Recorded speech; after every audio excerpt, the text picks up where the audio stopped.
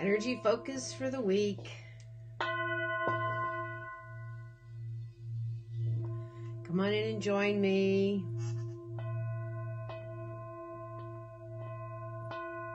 Take a few moments. Focus your energy and align with the cosmos for the week ahead. Come on in and join me.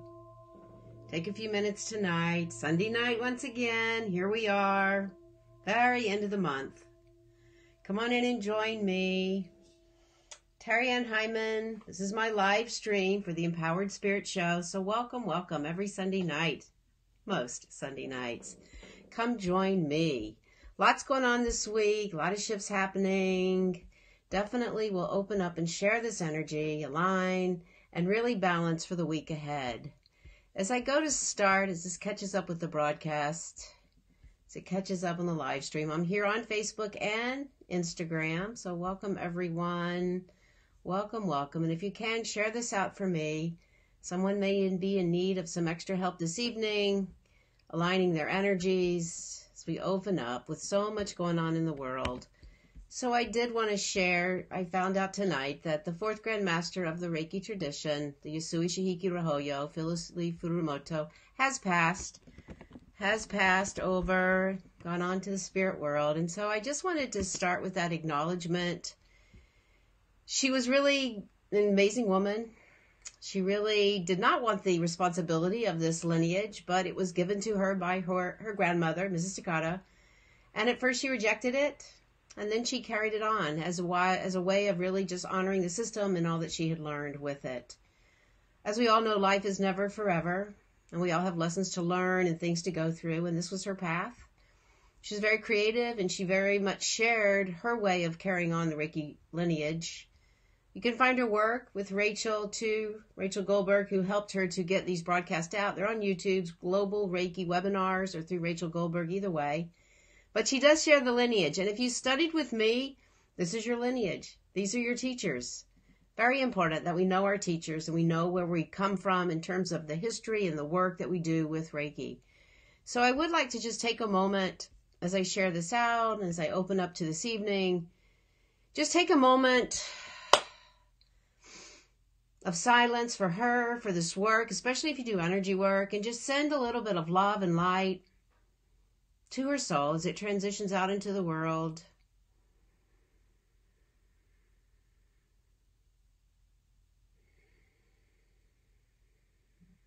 Pass on this energy as we carry this lineage and continue to teach it. Sending love and light out to her, her family, to those that come before her, and to those that will come after. With gratitude with light. She was a creative soul. She accepted all the growth. May we all continue to do so. And so it is, sending love and Reiki light out into the world for her and all of us. Honor to carry it on. And so, with that, I just kind of offer tonight the energy of just for today. So, we take this moment of silence and pull our energy in just for today feeling your presence right now, offering gratitude for your life, gratitude for this month that we're finishing, gratitude for the season ahead. Just really feeling grateful, being in that moment, carrying on the Reiki principles just for today, being grateful for your life, being honest in your work and in your soul, honoring all people, letting go of the worry, letting go of that excess amount of anger you may carry. Just for today. So, as we call in our energy, we bring that forward. I open up. So, how are you tonight? What is going on for you? Boy, do we have a big shift in weather around here. Back to sweaters. Shift in energy, same thing. It really mirrors. Nature mirrors everything we do. When we take that time to sit on the earth, to be with it, we can really feel where we are in our path. I know for myself, going through so many changes, so many shifts. So lots comes up when we do that. So this week, as we go through the week, we're going to start with a little bit of that um, not feeling like you can get much done, maybe a little frustration. You may even go into a little bit of fantasy or dream time. We're at the very end of that Mercury retrograde. It's moving out, but we're also coming into dark of the moon. So dark of the moon is those couple of days right before the new moon. So Wednesday, Thursday, we're going to feel a little bit of that darkness, which pulls us within. All right. When that darkness comes around, will pull us within to sometimes feel more of the shadow sides because the moon is lessening in light, right? And it's in Pisces. So we have a little bit more of that Pisces energy before we get out of the month and get out of the week. We'll get in a little bit more of that energy of Pisces. So that Pisces causes us to go deeper. It asks us to ask the questions. What am I doing? What is my soul work? Where's my contract with myself? So it's a good time to do that. But don't get too down. Don't let yourself go too far down that road, that, that path where you can't lift your energy up. So that's what we need to remember as we go into the week. As we move into, you know, we'll feel that Thursday, Friday, Monday, Tuesday. Let me start over. Monday, Tuesday, we're going to be a little bit more dreamy and not feel like getting anything done. Wednesday, Thursday is when we have the dark of the moon. And by Friday, that's the new moon. And that's when we really open up to that Aries energy. That's when that, all that energy for spring and fire is going to finally finally start to feel it move forward. So you may feel some of that anticipation as you go to start your week, but bring that energy forward. Slow down, take it easy, make your list. Know that this energy is moving forward, all right? Know that this is a time that by we get to Friday and Saturday even, you're going to feel the energy pushing you forward. You're going to feel that fire energy, and that's what Aries is about. Aries carries that warrior energy. It carries that fire energy, really helping us to understand our path. So as we move into this energy, out of that dark of the moon, into the new moon, that that Aries energy, that element of fire is really asking you to look at like where are your hurdles, where are the struggles, what are those mountains you need to get over and understand. And that's kind of the emphasis that starts out with this spring energy. All right, we're going to definitely see that as we move into it. So it's really been pulling us with Pisces around. It's really been pulling us to really look into that deeper part of who we are and what our purpose is. And those are some of the questions that it's going to ask us to do as we move through this next week. All right.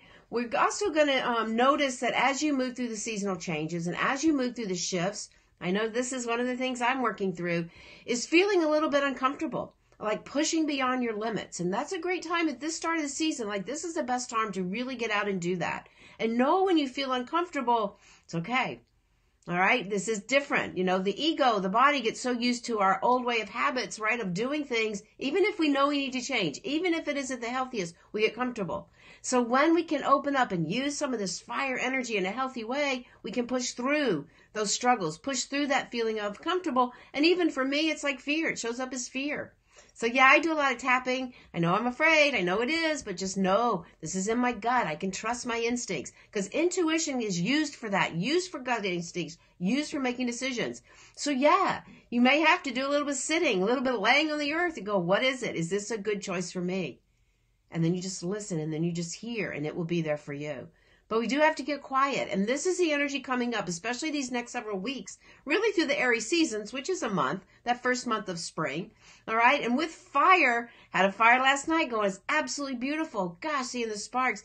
But there's always a temperance of elements, right? Too much wind and it gets crazy. Not enough and it can die. So where is that for you? So there is a little bit of that earth energy coming in with the fire of Aries that we do need to be centered and we do need to be grounded so we can harness it, so we can move it forward and open up to those intentions for ourselves. Because as we know, new moon, we set intentions, right? So as we move out this week, move out any leftover retrograde, any of that leftover dreaming time, bring it forward and set new intentions. As you balance your energy with the season, then that's when we want to set new intentions. Always write them down. We do that on Friday as the energy comes around. And sometimes too, you may be creating those same intentions. That's okay. Just renew them. Write them down one more time. It will feel good to really go back. I went back recently to a list I had made and was really amazed at things that came forward. And some things were not exactly right, but there was an indication of a similar energy. All right, so sometimes we can't get exactly the thing, but if we look to the energy of what we want, we know these things are coming forward. So spring, as we know, direction of the east, new seeds, new beginnings, Aries is coming in full force. All that old Mercury energy is going away, and we're going to be building this energy all the way up and through to that April 20th, that new moon, that full moon coming in. So now's the time to really renew those intentions as we move into the end of the week.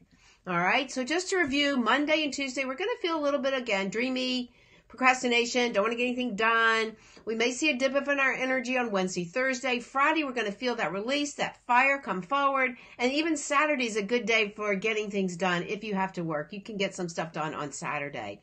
So that's the energy going on. We use the energy of the moon to help us move forward, looking at the hurdles in our life. Don't let fear get in your way. Really, just don't let it get in your way. Tap, run, exercise, do something. Again, I love to tap and really just recognize what's under the fear. Because then that's when we can open up to it, and that's when it becomes power for us. When we know what we're afraid of and can face it and move forward. Be honest, I've been using an essential oil called Brave and also my carnelian. Love carnelian. It's a great stone. It's a great stone for helping you bring forward your passions and desires while feeling the earth and being protected. For me, that's really important. So I offer that for you too. Wear it, carry it, whatever it is for you as you go about doing these new things that you want to do. Really important that we offer and have ways to do that. All right, so finding the tools. That's why we meditate. That's why we journal so that we can recognize those emotions and those feelings. So, yes, this week is going to feel a little sluggish to start, but we're going to find the power and the fire to move forward. All right, so let's just take a moment and center our energy wherever you are if you can. Just take a nice deep inhale. Feel the sound bowls coming in.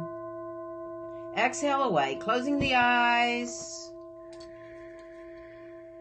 Inhaling, bringing that breath up from the earth. And as you exhale, just call back all your energy. Call it back. Feeling it coming right into the center. Feel the feet flat on the floor, grounding those feet. Feel that connection with Mother Earth. Feeling the spiritual body aligning right on top of this, the physical body, shoulders and shoulders, hips and hips. Calling in your higher self, the wise old self. As we open up, calling in our masters, our teachers, the archangels, and our own spirit guides, asking them to work with us and through us to surround us and protect us as we offer this work. Offering that gratitude, aligning with the directions, anchoring them in, this brand new season in the direction of the East. We honor the East for new beginnings, the South, the West, and the North, above us, below us, pulling in right into the very center, pulling in your spirit as you open up to this week that is ahead of you. And just taking a deep inhale, let the breath open up, let it exhale down, feeling that idea of just for today. Continue the breath up the body. Exhale back down. Just for today, in this very moment, having all you need, being safe, being protected. Continue the breath up the body and exhale down. Let that be your mantra just for today. I have all that I need. Feeling that gratitude rise up, inhaling and exhaling. Just for today. And should any fear come your way at this moment, imagine it turning a bright red. Or just allow the healing guides to come in and let that red be transformed. Let it go. Releasing out anything at all as you bring your awareness into the just for today, being very present with yourself. Another deep breath in and exhale out. Feeling that connection with the earth. Opening the eyes. Feeling that shift coming back.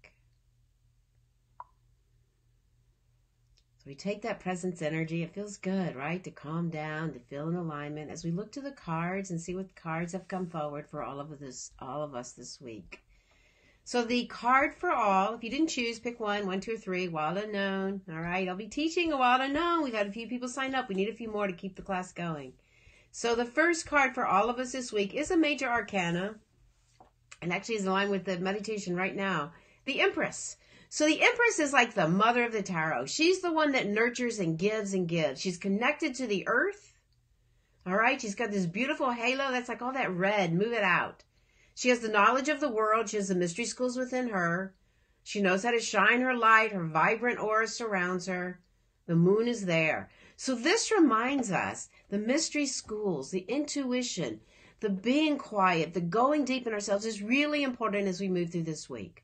It really is trusting we know what we are and who we are and what we are doing. Trusting we're on a path.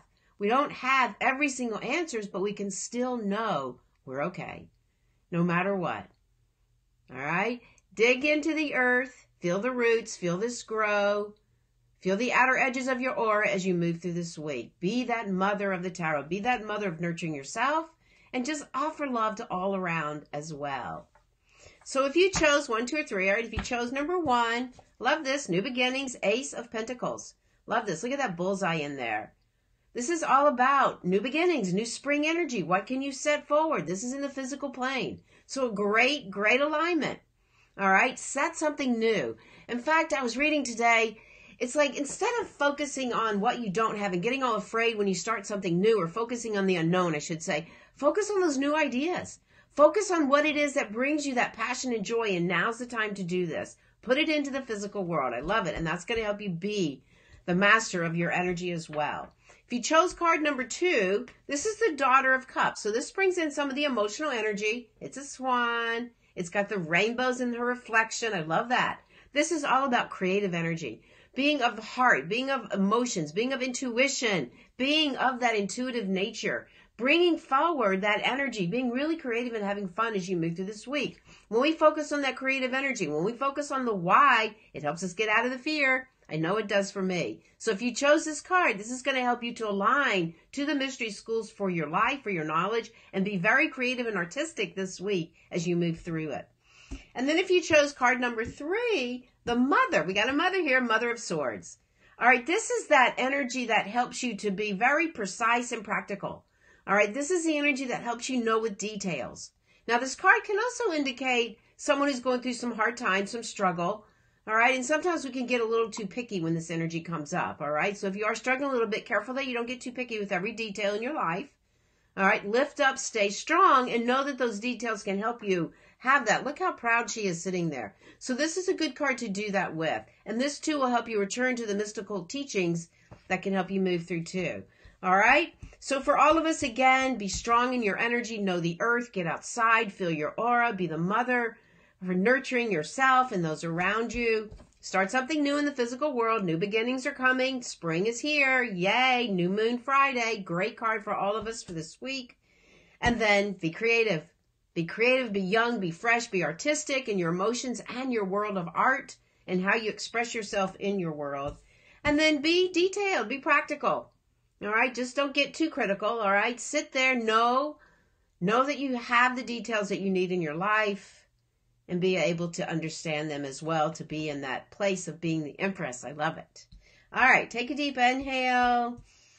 If you have questions, post below. If you'd like a card reading for you, let me know. Too good. All right. Hello, Cindy. Hello. Hello, everybody on Instagram as well as Facebook. Thanks for joining me. So I have to say, I did not get my podcast out this week. I didn't. I just had so much going on, and sometimes we just have to give ourselves some slack, right? With all that I have going on. But it was so good. I interviewed Lee McCormick from the Integrative Center in Nashville. It was so amazing. The interview went deep from his heart centered recovery, the heart reconnection book. I'll show you his book since I'm live because it'll come out this week brand new book on how he works. It's not just for recovery, but how he works in recovery centers. He talks about the medicine wheel in here. He talks about tools and techniques for really getting into recovering your spirit. Beautiful. It was such a great interview. I didn't want to rush it. I really didn't. I didn't want to rush it. We had some technical difficulties, which required a little bit of, of extra creativity there. But a great book and a great interview. It will be out Saturday. So if you didn't have a chance, catch up on the other podcast. I will definitely be posting this one on Saturday. Definitely an article or two coming out of it. Such a great interview. And also, too, if you're local, we have uh, the Wild Unknown. If you want to learn how to read these cards for yourself, Tarot takes a while, but you got to start somewhere. This Saturday at Beacon Yoga. Oh, and Bailey had her baby. Congratulations to Bailey. Natural childbirth at home in the water. Beautiful. Bailey, lots of love to you. Congratulations. And I will be there at Beacon Yoga teaching the Wild Unknown. It's this Saturday. Check it out. You can find more information and the link in the bio or online. Either way, come join us. We have a couple people signed up. We need a few more to get the class going. All right. And then Wednesdays, I'm at Birmingham Yoga, Restorative Reiki. We're doing rest- Reiki at 5.30 and the restorative series is Ayurvedic and Spring Cleanse. So come join us. Even if you didn't sign for the whole thing, you can drop in. So that's what's going on in my world. How about you guys? Who has a question? All right. Cindy, Kimberly, Cindy, and then Mindy over here. And then we'll see, come back to um, Instagram and see where we are as well. All right, so the order here is Kimberly. Hey, Kimberly, come join us for that tarot class, Kimberly. Cindy, and then Mindy. All right, here we go. So, Kimberly, this card is for you. This is the Father of Swords, and we got this last week, I feel like. So, the Father of Swords is a master of his word as well, master of details too. Look how it changed into that rainbow. So, be very fixed, very strong in your word. Okay, again, I always like to caution about getting too picky with the details, but this is someone that's very masterful. Look at the rainbow of that sword. So that's a thought. That's of being sharp and precise, okay? See how much you can sharpen up your mind this week. Really good. Not critical, sharp. All right, Cindy. Cindy, we got the Wheel of Fortune, but it was reversed, all right? So the Wheel of Fortune always reminds us that the wheel is always turning. So sometimes it's like, you know, when you feel like you're on the bottom and because it's reversed, maybe you're feeling a little bit like, when is all this going to shift? Be grateful. Again, we offer gratitude because it will turn. All right. It will turn. Even when you're on the top, be grateful because it will turn as well. All right. And we don't want to have to do that. We really don't. We don't want to have to do that. All right. So, well, it always turns. So sorry, get distracted. But Cindy, when this card came up for you, it's like know and be grateful that things are changing always and there is energy coming around. The universe is there to support you. All right. Very good card. I always love it. All right, Mindy. Got a text right in the middle of everything, you know? All right, Mindy. We got the Ace of Cups, a new beginning too. And this one is of love. So I always start the Ace of Cup with first and foremost a renewed interest in your own love of self. Once we love ourselves, and that can open up to everything around you and maybe even bring a partner in. I don't know where you are with that, but first and foremost, the Ace of Cups is that new love for something in your life, especially yourself. When you love yourself, everybody else can love you too. All right, so let's see who else is over here. If anybody wants a card, post again. I think I've lost a few of this. I'd like a card, please. Okay. Your baby. Oh, your B day is coming up on Saturday. All right, hip scientist. Happy birthday. Aries energy. You're going to feel it on Saturday for sure. All right, so you drew the, the uh, Six of Cups. So this card is an interesting card when it comes up because it almost looks the same upside down as reversed, all right? And this is really, this is a great card for your birthday because it reminds us to go back to our roots. As far up as we go, as deep down as we go, it's important to remember that. Sixes are about balances. They're two threes. We come around again. So perfect for what I call solar return for you to really come back around and honor all that you have in your life, your ancestors, as well as those that are coming before you, behind you, all of that energy. And what is that rooted energy for you? Feel your feet, feel your roots deep into the earth. A really good confirmation of your life, hip scientist. A really good confirmation that yes, this is coming around. All right, a birthday, another birthday. Okay, let's go. Leah's Pope. I love Instagram, right? All right, another happy Aries birthday. All right, so this one is the eight, the eight of Pentacles. The eight of Pentacles is really a great, a great card because it reminds us that we're weaving a web. We're working in our craft. Pentacles is our work. All right. Keep working your craft. Keep looking at the details. Let it just keep opening up to all of that. It is working. Eight is about abundance. All right. So there's a lot of infinite potential coming your way and all the many things you do. Sometimes when this card comes up too, it's a great reminder to take a step back and look at the light, like shining through your life. Because when we do that with spider webs, like we don't always see them when we look right up front, but when we see the light coming in, they're amazingly beautiful. So as you go about celebrating your birthday, be sure to take that step back and find the light and how it shines all around you. Happy birthday. All right. All right, Mare. All right. Mare, you got the moon. How many times are you going to get this card for you? I love it. I love it. I love it. This is keep practicing your intuition. Keep reading those cards. Keep reading Spirit Daughter. Keep practicing your meditation. Go with the other part of your brain. I know you work in marketing and finance and all that stuff. So be careful to get out of the out of the logic. Move into the moon. Move into the to the other part of your brain, the intuitive part. Let this guide you. All right. So sometimes that means, especially right now, we have to let go of our old belief systems. We have to let go of the old way of doing things so that we can open up and trust, trust the gut, Hashtag trust the gut. All right. And this card will help you to do that, Mare. All right. Great card. All right. All right. You're welcome. Hip scientist. Hey, Millie, how are you? Wow. I'm actually job hunting right now. Excellent, Leah. Yay. Hey, Sin. All right, Millie. Millie, a card for you. Millie's been moving too. Millie's had a lot of changes in her life. Millie, I'm going to be joining you on that. The Chariot. Love this card in this deck especially. I love this card. Look how beautiful this card is. It is so beautiful. Sharing it on both.